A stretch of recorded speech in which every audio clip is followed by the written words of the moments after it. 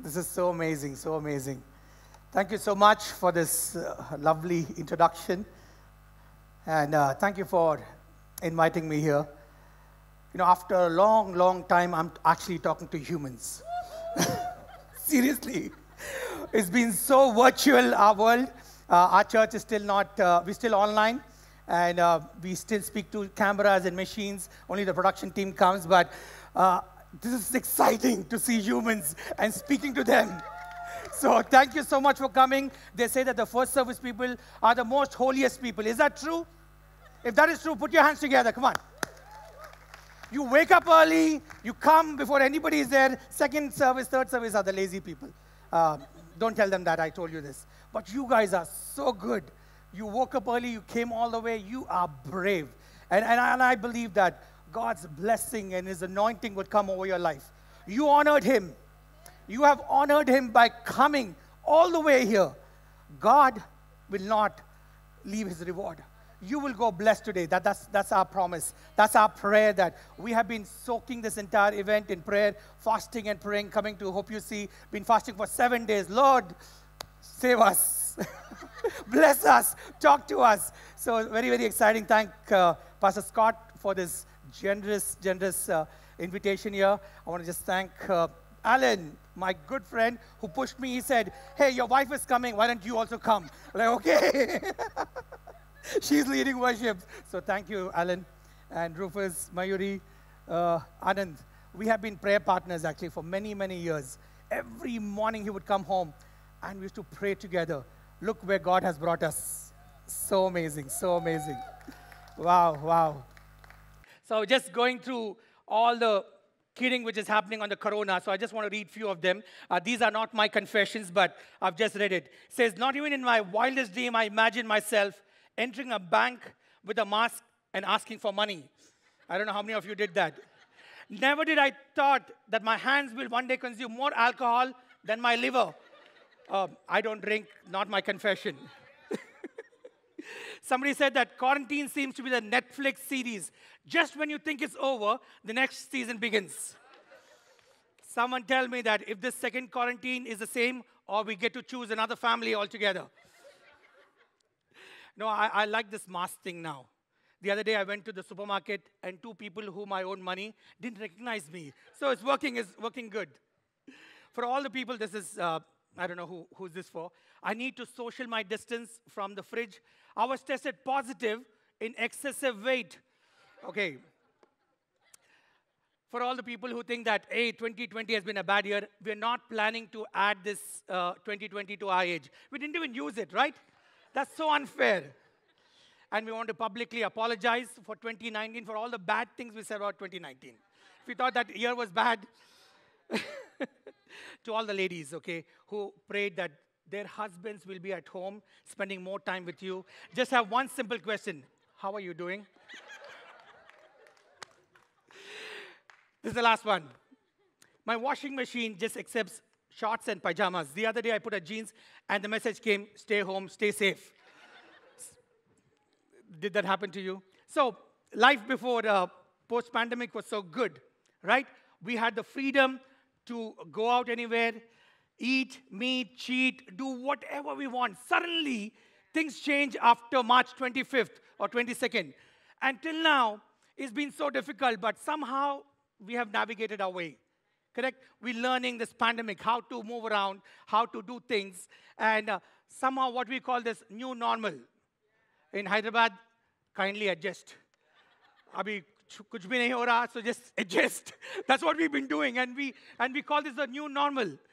You know, that's the corona culture, but there's a kingdom culture also. And today we have been talking so much about the kingdom. The kingdom culture was God made this perfect world in Garden of Eden. It was beautiful. No work, no homework, no exam. And if you're thinking, anyway, I didn't write my exam, I passed anyway, so don't worry about that. So all the pressures that we have, boss tension, this tension and all, there was nothing. It was a perfect world. That's what God intended. That was such a good world, but and then man was dissatisfied. They ate, they disobeyed, and we all fell. And ever since that, we have been living this new normal, trying to pretend that this is normal. But God has great plans to restore us back to that kingdom. So, so nice that, that we'll come back one day. Till then, we're adjusting. Somehow, we're adjusting. And in the New Testament, we see John the Baptist coming on the scene. And he has this one line message Repent, for the kingdom of God is near. And he was a cool dude. And you think that leather jackets and all this thing, he was the original guy who wore the leather things and he was wild. Wild food, wild man. And he just preached one line Repent, for the kingdom of God is near. Even just before Jesus came in, he started with that message. And guess what? When Jesus came on the scene, he picked up the same line from John the Baptist and he began to preach, Repent, for the kingdom of God is near. That's what he said. In fact, he said in Luke 4, he says, I must preach about the kingdom of God because that's why I was sent. So Jesus just kept telling and talking about the kingdom of God. In all his parables, if you see, whether it's the sower or weed or mustard seed, hidden treasure, all his parable were all about the kingdom of God. He would take them and teach the people. And when he picked up the 12 disciples, out of 72, he sent them, said, Go and preach about the kingdom of God. And when the disciples asked, Lord, teach us to pray, guess what prayer he taught them? Our Father who art in heaven. Don't repeat, I'm just saying that. Hallowed be thy name. And then he says, Thy kingdom come. Even in the Lord's Prayer, in fact, it was not the Lord's Prayer, but he taught his disciples. And the third line says, Thy kingdom come. And that's what we're going to talk about. Thy kingdom come. And the final journey of Jesus after his resurrection, 40 days, guess what he preached about? The kingdom. The kingdom. Acts 1 3 says, For 40 days he spoke about the kingdom of God. So even before he came, till the last the day he just ascended to heaven, he spoke about one subject the kingdom of God. And that will really just bog down your mind and saying, hey, why would he say so much about the kingdom? Why would he speak so much about the kingdom? Because a king will always speak about his kingdom. A king will always speak about his kingdom. And that's why Jesus said, That's why I came. What we lost in Eden, Jesus came back to restore that, give us a new life. The kingdom of God or the kingdom of heaven, these are the same terminologies or the same expressions. So the Jews, they were so reverent about God, they would not just say God, God, God, God, oh my God, oh my God, OMG. They would not say like that. So just to respect that, they would say kingdom of heaven instead of uh, kingdom of God. But since they both are same, that's how they do. But what is the kingdom of God? The kingdom of God is his authority, his power, his purpose. It's not political, it is spiritual. It does not refer to one region or boundaries, but it refers to the entire creation of God. In fact, Psalm says that the Lord establishes throne in heaven and his kingdom rules over all. Over all. So he is the king over all. And when you see what does the Bible talks about the kingdom? I think I'm losing it. Are, you okay? Yeah, okay. Just need some volume here, please. So when, when you look into the Bible, in fact, we just read that during the offering time. This is what Jesus says. What is the kingdom of God? He says, Seek ye first the kingdom of God and his righteousness, and all these things shall be added unto you. Matthew 6 talks about life, clothes, eating, drinking, all that. And Jesus saying, Hey, don't worry about that. That will come to you. Look at the birds. They don't sow nor reap, but I provide to them. That's what Jesus said. And he says, Don't worry about them. That will come. That is not your problem. God, Jesus says, You seek my kingdom first and his righteousness, and all these things shall be added unto you. So, where is this kingdom? Where is this kingdom? Good question. And Jesus says, Behold, the kingdom is within you. Within you. That's where the kingdom begins, inside of your heart. The day when you accepted Jesus, you said, I'm sorry for all my sins. When you repented, the kingdom work began in your heart is right within you. Jesus came to bring the kingdom to us and to us to the kingdom. That was what Jesus did. He bridged that gap. We were so far away, but Jesus said, Hey, all you have to do is just come, repent, and the kingdom will come. What happens when we get the kingdom? Romans 4, uh, 14, 17 says, For the kingdom of God is not a matter of eating, drinking, but of righteousness, peace, and joy in the Holy Ghost. That's amazing, right? In, in the midst of this pandemic, we are so worried about our jobs, rightly so. We're so worried about what will happen to me if I contract this disease? Will I live? Will I die? Will I be quarantined? Will I be thrown in Gandhi hospital? That's worse than death. And what will happen to me? We're so worried about all that. But Jesus says, don't worry. It's not about your eating, drinking, but what God does in your life. And that is, He brings righteousness, He brings peace and joy. That's what God does in your life, is from the inside out. That's what God does when the kingdom comes in your heart. But what, why do we need this kingdom? Because 1 Corinthians says, For the kingdom of God is not a matter of talk, but of power. God wants us to live empowered life. It's just not about coming on a Sunday morning, hearing a good message, and you walk away and say, okay, God bless you, I can live my life. No, no, no. God wants you to live every day, like as you're walking in His presence. Some of you are so holy on a Sunday morning because you, God is here. God is in this place. The Holy Spirit is here. But what happens to the Holy Spirit when you go back home? He's still with you. He's still with you. He walks with you every day of your life. So you don't have to pretend saying that only in church I meet with God. No, you can live a good life, spiritual life, empowered life every day of your life. And that's where the manifestation of the Holy Spirit comes. Now, we were praying during our prayer time for the sick. In our church, we have many, many families uh, who got contracted with COVID 19, and we have been praying for them. Uh, it's amazing how uh, what this journey has taken them. But we have a list and we keep praying about it. And, you know, seriously, almost about nine out of 10 people have been cured. They have come out strong. They have really come out strong. It's only probably the 1% probably who could not make it because of the old age and things like that. But 9 out of 10 people. Uh, because the church, uh, we, we as a church have been fasting for 40 days. Every day we have been praying, praying for the sick to get healed, for, for demon possessed to go. And when Jesus says that, you know, when you do these things, when the demons are going, that's where the kingdom of God comes in. When we pray, the sick are healed, delivered, and I remember that, you know, Anand will remember that, that in our youth camps, we were very, very famous for one thing. Each time the worship would happen, the demons will pop up, pop, pop, pop, pop, pop, and we'll, like, we'll be like stunned which one to go first. At one time, four, five. And then we would just pray and cast the demon out. And, and many of them are in ministry today, doing excellent job. I know that was our favorite time also, because crazy things would happen. And we were new in ministry, so we would just think, should I go or not? Just stay here. You know, really. But, but God really gave us that power.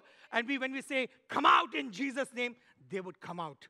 And like, whoa, this is working. And, and, and God, Jesus says that that's when you know that the kingdom of God has come upon you. Because that's what Jesus did. So the big question is right now, where is the kingdom? Is it here right now? Did it come with Jesus and go away, or is it going to come? So there are four views to that. Very interesting. So see this. The first view says that the kingdom came in all aspect when Jesus came, but returned with him when he went away. This was like the trailer. Abhi picture baki hai. You know, it came but went away with Jesus. That's the first view. The second view is the installment view, where it says that Jesus came, started dwelling among us, and then the second installment will come when he comes back again. That's the second view. The third is the complete.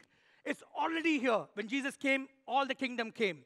But Thy kingdom come. That prayer will be incomplete, right? That doesn't go well. Why would Jesus still pray, Thy kingdom come? Why would he teach his disciples, Thy kingdom come? So that's not true. The fourth and the complete view is the kingdom was inaugurated when Jesus came, but he'll find his completion when he comes back again. Till then, we're in this new normal. Kindly adjust. We're living our lives, we, we fall sick, we sin, we get up, we walk with Jesus. Uh, things are not going great, but this is not what God wanted us to do, right? He wanted us to live a perfect life. But there is coming a day. There is coming a day where Jesus is going to come back and the entire kingdom of God will be back. We'll be living in an amazing world, the, the real normal, not the new normal. That's where we are waiting for. So, most of the time that Jesus spoke to his disciples uh, or the people were in parables. Parables, okay? In case that, that word is a big word to you, I'll simplify that. A parable is something like an earthly story with a heavenly meaning. Can you look at your neighbor and say that? You look very serious, guys. So uh, I, I can't even see your smiles here because you have masks. An earthly story with a heavenly meaning. That's what a parable is all about. So in Matthew 13, there are almost eight parables. Don't worry, I'm going to spare. We're not going to do all eight. Otherwise, you will say, give my money back. this is not what I signed up for church this morning. No. So, but I'm, we're just going to just pick up a few parables. And that's where we're going to get into the message. Uh, what was all this about? Introduction. Okay. so Matthew 13, it says, the disciples came and asked Jesus, why do you preach or why do you uh, speak to people in parables? And I want you to listen to this very, very carefully because this is where it will all begin for you. Matthew 13, I'll read from the message version. He replied, You have been given the insight into God's kingdom. You know how it works. Not everybody has this gift, this insight. It has been given it hasn't been given to them. Whenever someone has a ready heart to this, the insight and the understanding flows freely. But if there is no readiness, any trace of receptivity soon disappears. And that's why I talk to you in stories or parables to create readiness, to nudge the people towards receptive insight. This is for you. Jesus was simply saying, the reason why I talk to you in parables, so that I can create readiness in your heart. So that you will be more receptive when the word is coming. This morning time, you can be sitting here, but your heart can be totally off. Your mind can be off. You can be somewhere thinking about your girlfriend or your boyfriend, or what should I cook, or where, where shall we go for lunch. You can have hazard thoughts. But if your heart is ready Amen. this morning time, and I want you to just give me your 15 minutes, next 15, 20 minutes. Think about it because when your heart is ready, Jesus says, then the message will come to you directly. Amen. Otherwise, it's going to just bounce off. It's going to be one more Sunday when you came to church and nothing really happened. And you think, hey, this church is not good, or the preacher was bad. Don't say that, I'll beat you up. so, would you just ask God? Amen.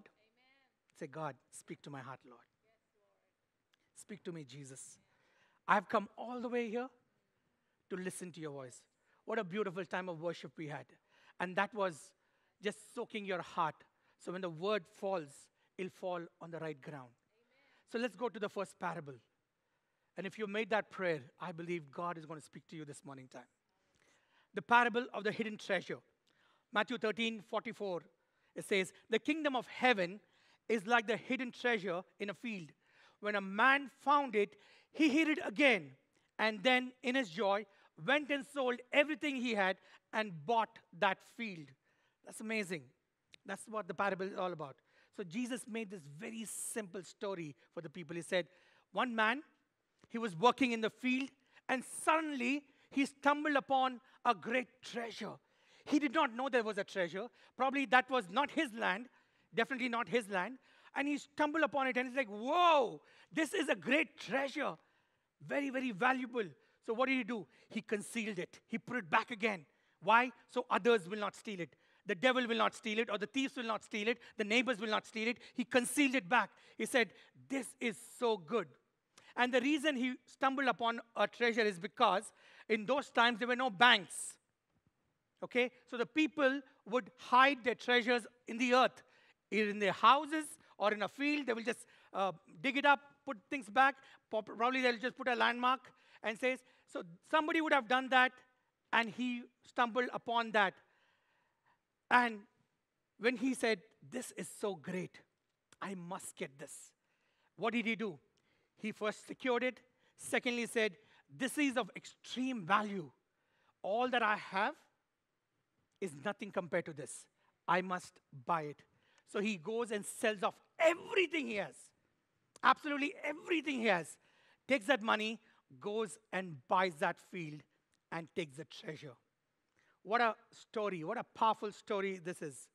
Because he was overjoyed. There was joy in his heart. My life is good now. I don't have to work anymore because of this treasure.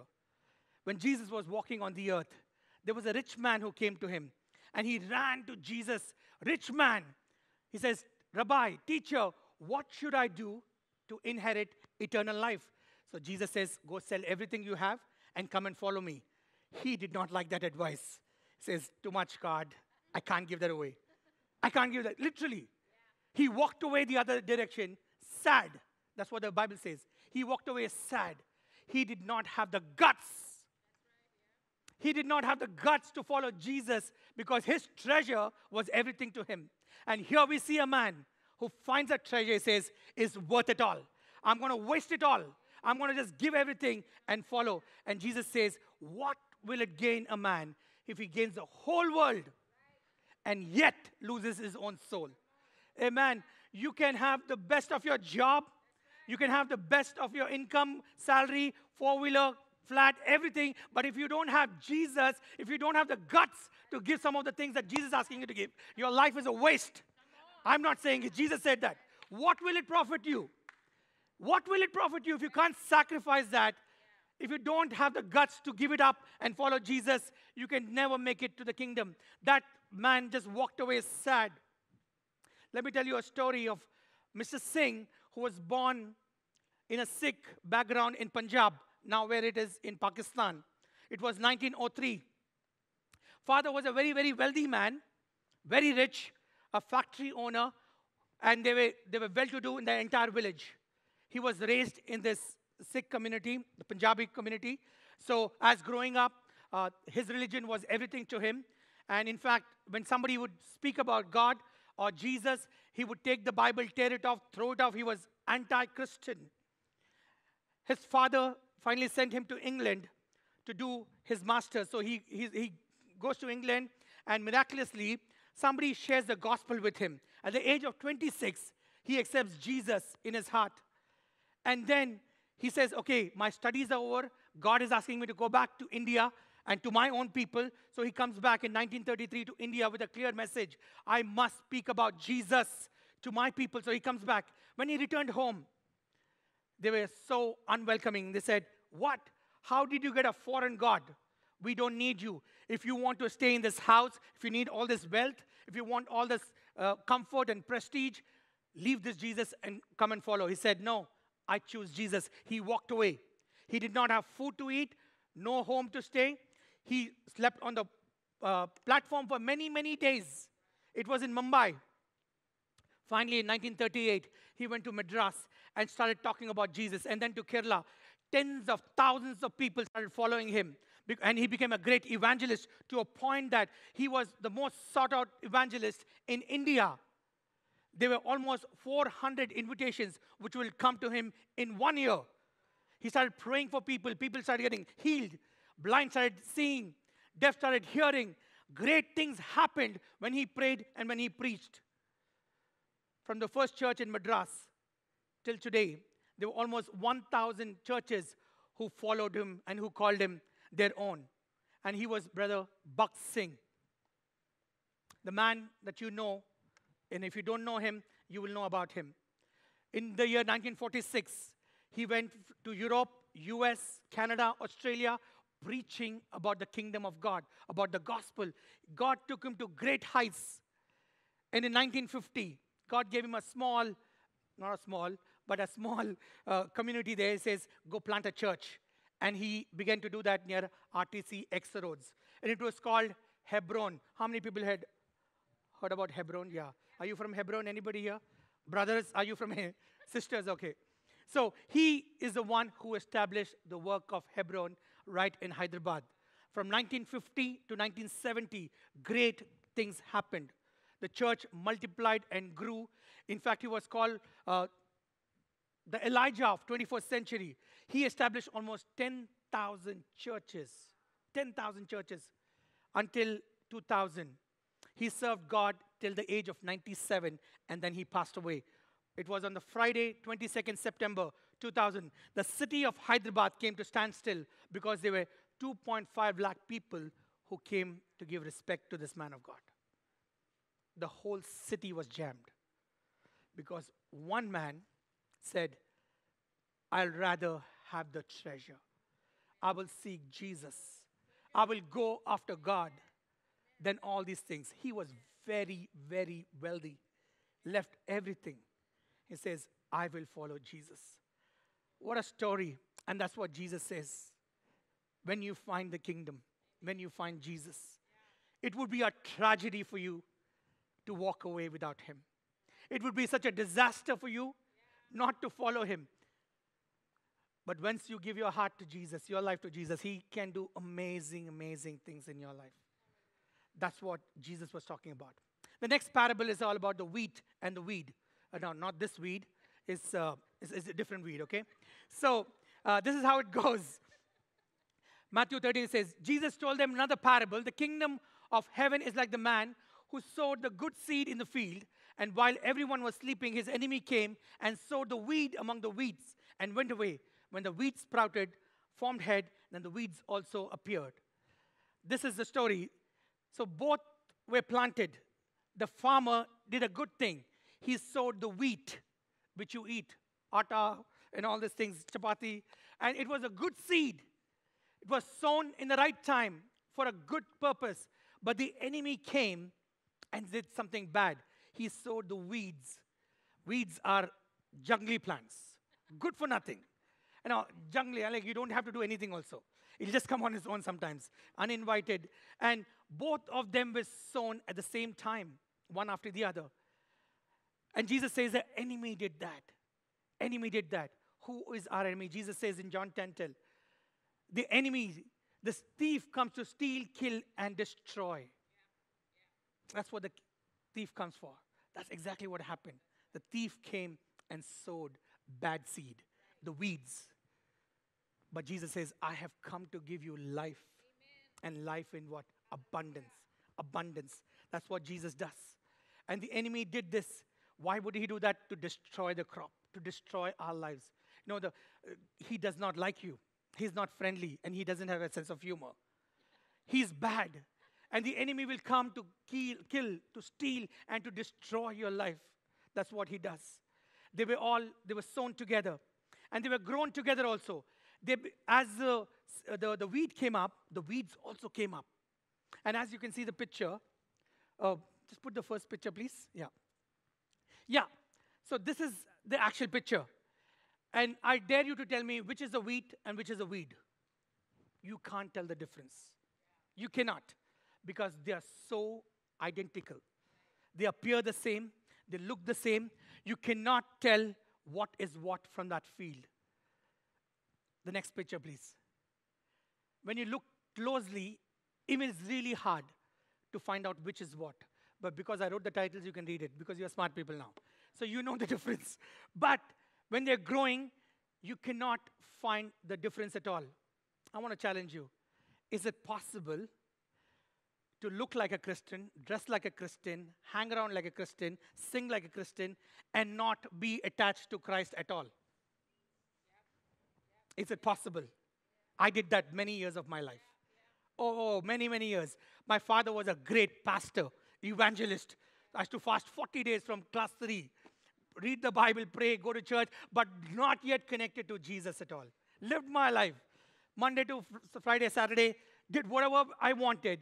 And Sunday, praise the Lord, Sotram, hallelujah. It was all about that. You know, we could switch lives. We could switch the mode and live like that. Is it possible that we can be like that? Look like a wheat, but we are weed. Sing like, act like, but yet so different. Yeah, it is possible. Oh, we know that game very well, right? How to play on Sunday and how to play on a weekday. But one of the greatest thing is the, the fruit. When you open up the head and see what is there, when you open up the weed, you will find a black thing which is nothing actually. There's nothing, absolutely nothing. You eat that, you will die. No, you, will, you might not die. You will faint away. We'll have to put you in the hospital. But it's nothing. It's not good. But when you open the wheat head, you will actually find the grain. You will find the wheat. That's how you will actually come to know which is good and which is bad. And that can happen only when they mature up. In the initial stage, you will not know the difference at all. Absolutely. So when the when the hired man came to the farmer and says, Shall we pluck out the weeds? He said, No, don't do that. Why? Because in doing so, you might just tear off the wheat also. He said, Let them grow. Let them grow. And once the harvest is ready, we will separate them. Here's a true story right from our church. And I've changed the name. His name is Ravi. Ravi was basically not from a Christian background. He grew up in Bangalore and he lost his mother at the age of 16. So the father remarried and had, they had a, he had a stepmother. Things did not go well with him and the mother. So the father drove them out, him and his brother, 16 and 17, out of the house and says, Go fend for yourself. So for many days they did not have job. Finally, he hired himself in a hotel and began to work there at a very low wage. And that's how they could just survive, eat the food, and stay there.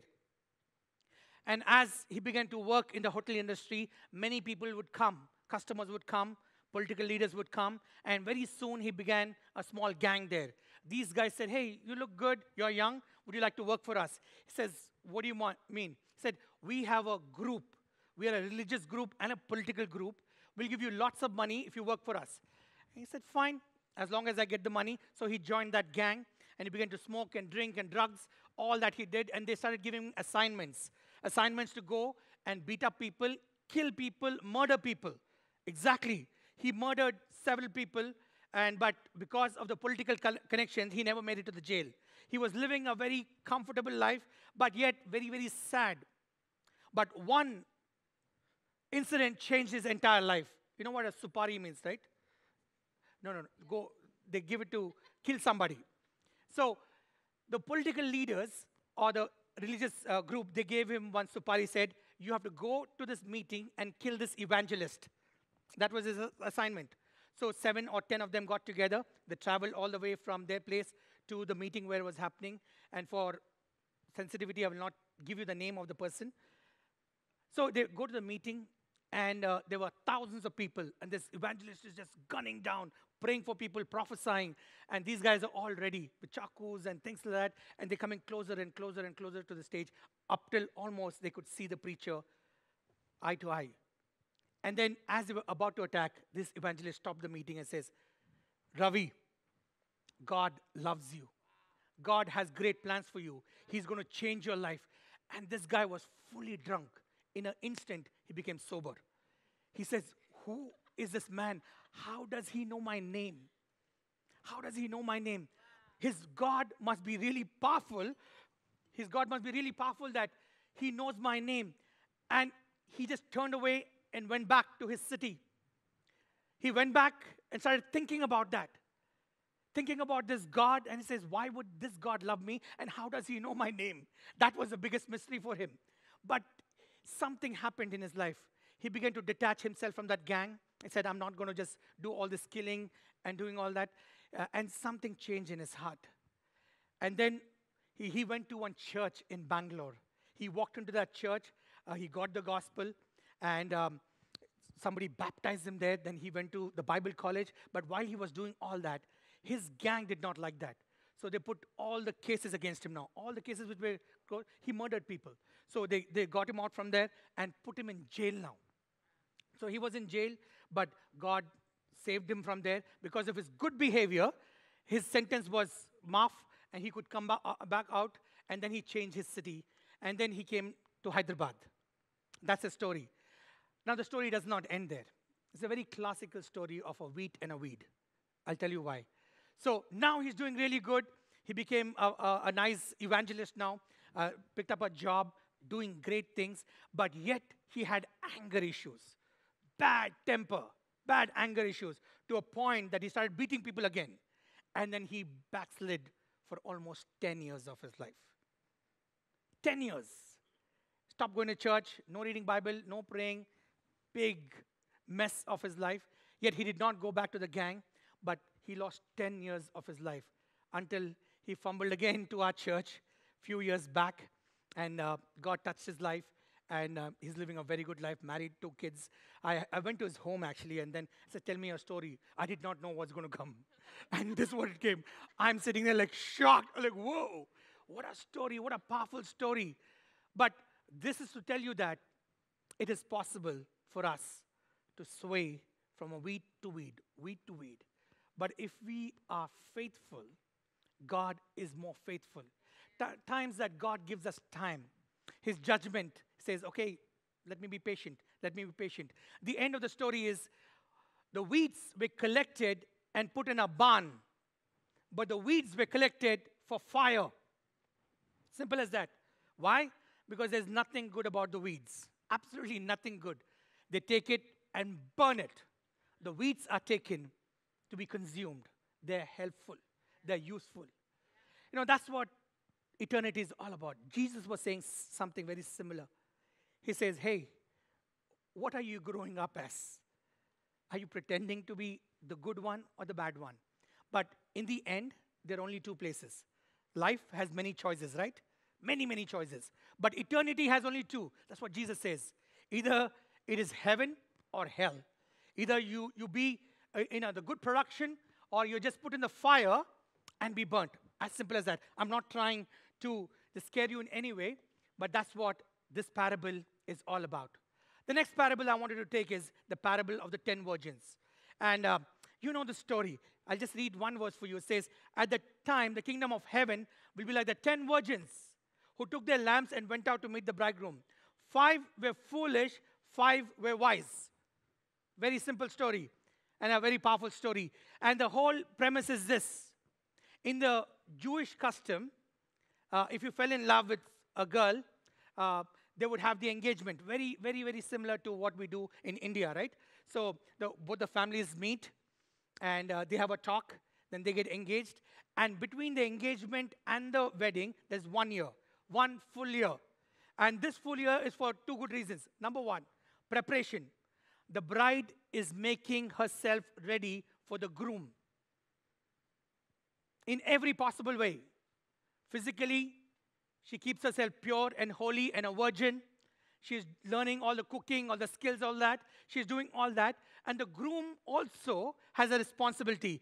His responsibility is to go find a place, uh, clean the place, uh, probably pick up a house, keep things ready, the house ready for his new bride. Two things. And in John 14, Jesus says, I go to prepare a place for you. And if I go and prepare a place, I will come back and take you to be with me. So where I am, you can be also. What a powerful illustration of Jesus' second coming. And he talks it here. So, what happens now? So, this, the story is this. So, this is a typical Jewish story where all the 10 virgins are waiting for one person, the bridegroom, to come. Five are wise, five are foolish. That's what it says. You know, but all of them have good intention. Why? Because they are all virgins. That means their character is good. Their intention is good. They're all waiting. Good intention, waiting for the bridegroom to come so he can, you can go. They were all dressed up. Everything was there. There was except one difference. What made them the foolish and what made them wise is the preparation, the oil. They were prepared for the bridegroom, no matter what it comes. When he comes, how he comes, wherever he comes. They were all prepared. The wise took extra oil with them. Absolutely extra oil. Uh, it's called the extra virgin oil. So I don't know what is uh, uh, about that, but they carried that. Uh, they carried that oil with them and they were ready. And what happens? The bridegroom will not tell you what time he would come. That, that was a mystery.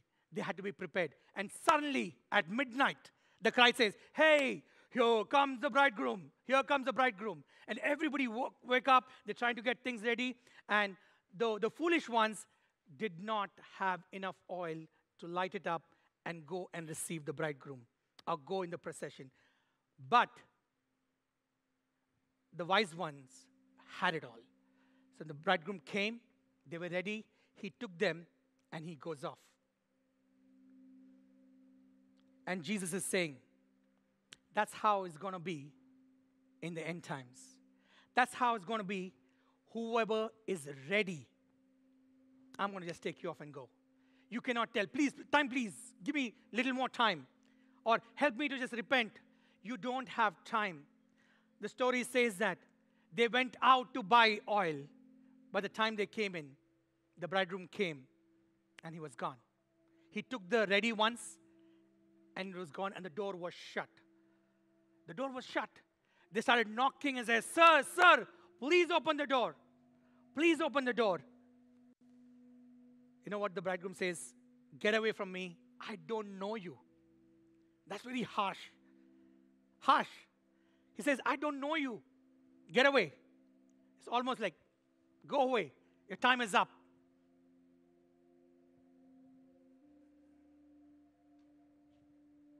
And he says something like this to his disciples Therefore, keep watch, because you do not know the day or the hour of his coming. Probably three months back, we thought that Jesus is coming soon.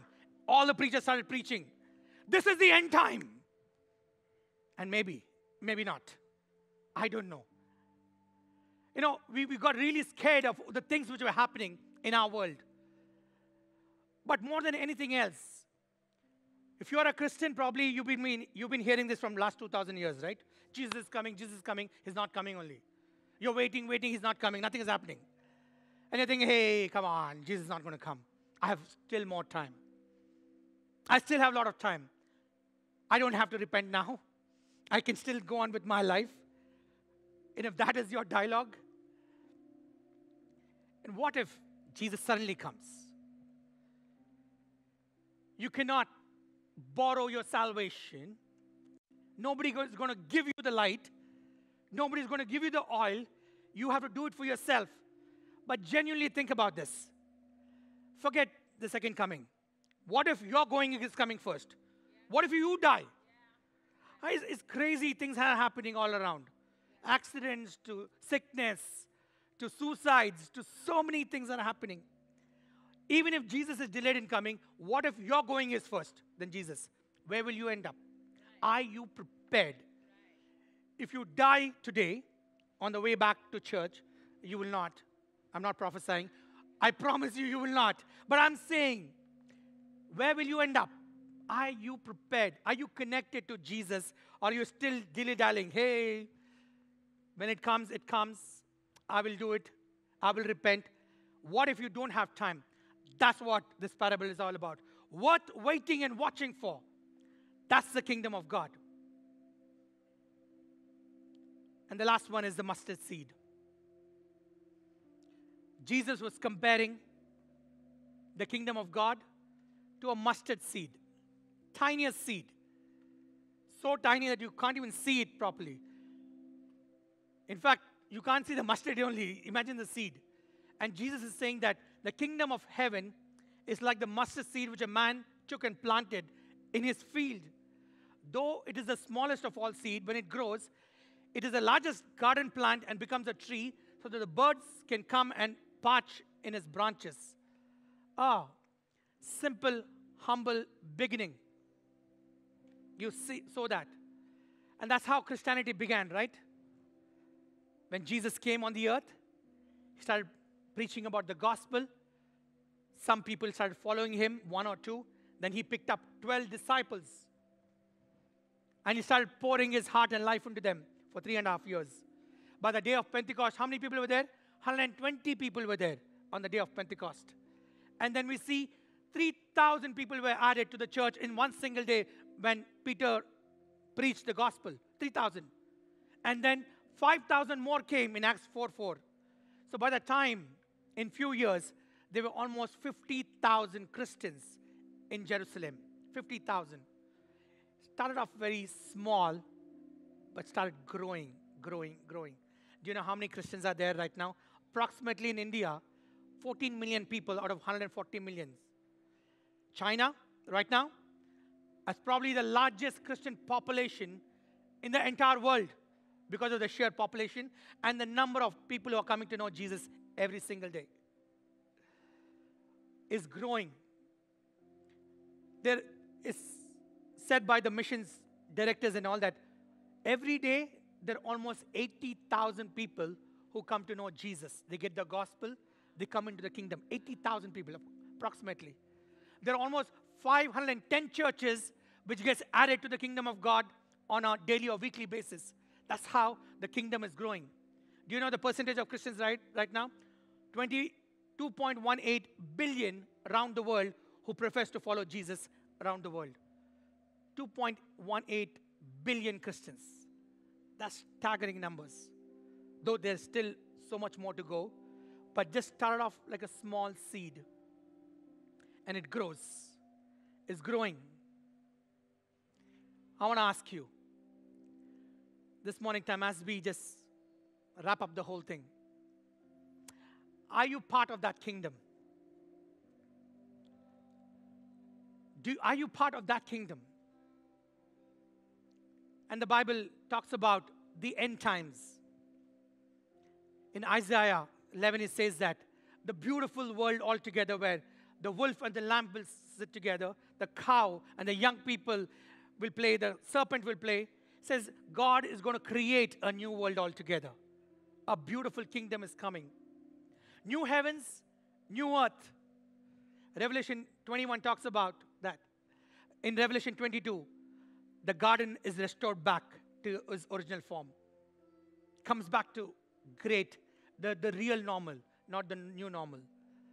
God is restoring things back, his kingdom back. What Adam lost in Eden, Jesus came to set it up, but it'll find its completion in the end, in Revelation. Till then, we have to adjust like this, but you can have a great life. All the parables that we spoke about, whether it was the parable of the hidden treasure, it's worth wasting it all. Absolutely. I can sell my, that's what I did literally. I sold myself to follow this Jesus. I gave it all. My job, my everything, my friends, pleasures, sins, everything I gave it up just to follow Jesus is worth it all. You can waste it. The parable of the wheat and the weed, or you can pretend till Jesus comes. But if you really want to genuinely change, like the way God changed Ravi's life, you can choose that or the virgins? Do you want to be the five foolish or the wise one? You're ready. It's worth waiting for.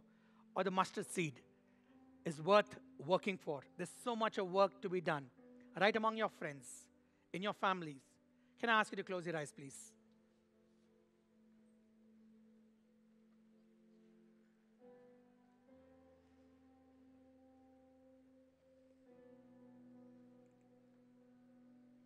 this morning, as you go back to your home, would you make a choice? Would you tell Jesus that you're all in in this kingdom? Giving it all, following it all, working it all? Uh, you want to work for Jesus? Or if you didn't get a chance to give your life to Him completely, You've been walking 50 50. You didn't surrender your life completely to Jesus. Whether you're sitting in this hall or whether you're sitting at your home and watching, wherever you are, all you have to do is just lift up your hands and say, Jesus, I come back home. I want to come back home like the prodigal son. And if that is you, I want you to lift up your hands. Come on, wherever you are. Thank you, thank you, thank you. Whoever you are, just lift it up to Jesus because God is in this place and God is in the place where you are sitting. Maybe it's in your bedroom or hall, in your home. The presence of God is there. You just have to lift it up to Jesus and say, Jesus, this is my life. Oh God, I want to be ready when you come, Lord. I want to walk with you, Jesus. Hallelujah. Would you all please stand up to your feet and lift up those hands to heaven this morning time? and sing it out to Jesus. Come on, with all your heart. With all your heart. Oh God, we thank you, Lord.